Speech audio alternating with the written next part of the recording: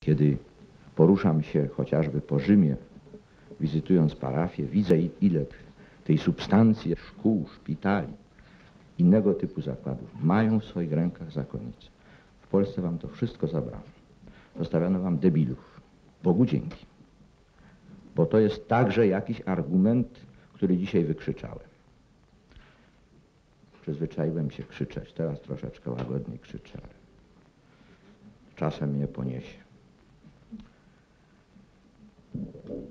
Niemniej, niemniej, jeżeli przyjmiemy całe to tłumaczenie historyczne, to po pierwsze musimy dziękować Panu Bogu za to, że nie stało się to, co się mogło stać. To znaczy nie zepchnięto was na zupełny margines i nie odcięto od życia społeczności chrześcijańskiej.